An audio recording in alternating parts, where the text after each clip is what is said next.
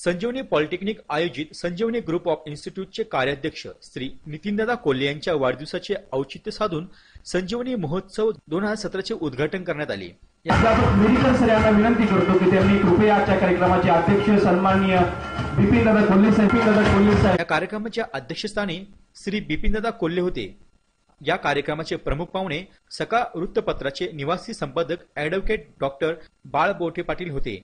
यावेळी Sanjivani group of इन्स्टिट्यूटचे managing trustee Shri Amit Kolhe सचिव श्री ए डी अंत्रे ज्येष्ठ पत्रकार श्री सतीश वैजापूरकर संजीवनी अभियांत्रिक महाविद्यालयाचे प्राचार्य डॉक्टर डी एन कॅतनवार पॉलिटेक्निकलचे प्राचार्य प्राध्यापक ए आर मिरीगर संजीवनी महोत्सवाचे समन्वयक डॉक्टर डी ए पाटील सर्व विभागाचे प्रमुख विभाग प्रमुख इत्यादी व्यासपीठावर उपस्थित होते.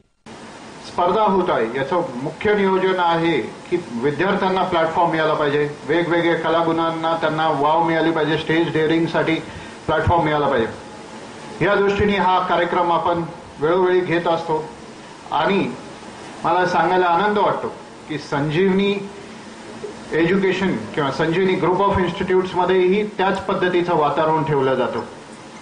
आजही आपल्या वे वेगवेगळ्या इव्हेंट्समध्ये आपले स्पोर्ट्स असो किंवा करिक्युलम असो किंवा अकॅडमिक असो आपले विद्यार्थी वेगवेगळ्या ठिकाणी चांगल्या रीतीने प्रदर्शन करत आहेत. मी आजच्या या कार्यक्रमासाठी उपस्थित झालेले सर्व विद्यार्थी व विद्यार्थिनींचं स्वागत करतो. आणि अशी अपेक्षा करतो की तुमचे हे दोन दिवस इथं व्यवस्थित जातील. तुम्ही स्पर्धांसाठी भरभरून प्रतिसाद दिलाय. आणि तुम्हाला सर्वांना या स्पर्धेसाठी मी शुभेच्छा देतो. बिपिन दादा असतील नितीन दादा असतील आमच्या भगिनी आमदार स्नेहलताई असतील यांच्या मार्गदर्शनाखाली अमित दादांच्या टीमने खूप चांगलं भ्रष्टाचार या संस्थेमध्ये निर्माण केलं. आणि त्यामुळंच सर्व क्षेत्रामध्ये भरारी या संस्थेची आहे. आत्ताच मेडिकल सरांनी आणि अमितदारांनी सांगितलं की चारशे पन्नास पाचशे कॉलेज आपले पॉलिटेक्निक महाराष्ट्रामध्ये आहेत.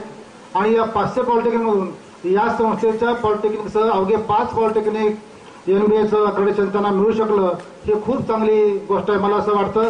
आदरणीय कोल्हे साहेबांचे घालून दिलेल्या विचारांचा आणि त्या दिशेने चाललेल्या सगळ्या मंडळींच्या कामाचा हा ठसा आहे असं मला वाटतं.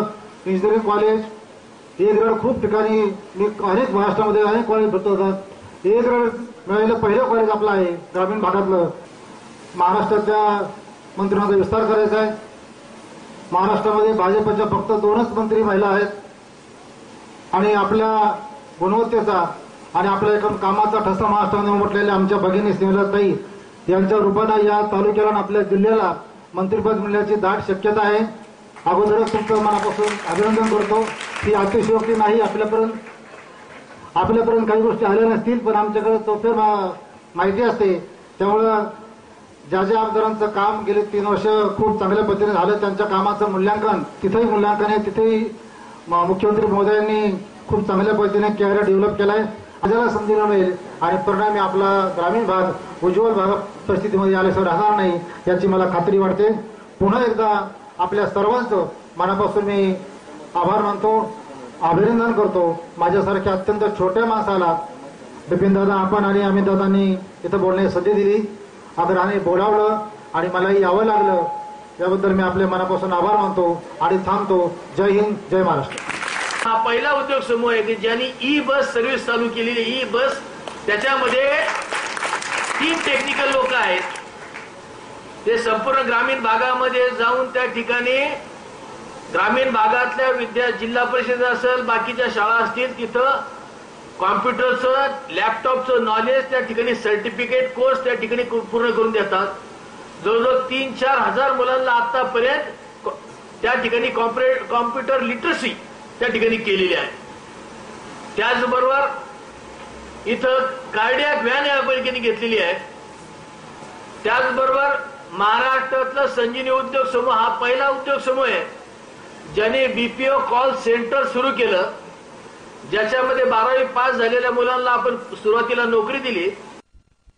या स्पर्धेमध्ये अहमदनगर नाशिक औरंगाबाद जिल्ह्यातील सुमारे पन्नास शाळांमधून दोन हजारपेक्षा अधिक मुला मुलींनी सहभाग नोंदवल्याचे सांगितले गेले आहे. विजेत्या स्पर्धकांना सुमारे अडीच लाखाची बक्षिसे देण्यात येणार आहे.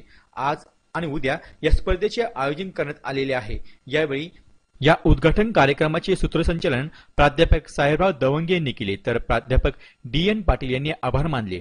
समन्वयक प्राध्यापक पाटील यांच्यासह प्राध्यापक एम आर गायकवाड प्राध्यापक योगेश जगताप प्राध्यापक महेश परजने आदींसह विभाग प्रमुख व प्राध्यापक संजीवनी महोत्सव यशस्वी करण्यासाठी प्रयत्नशील आहेत.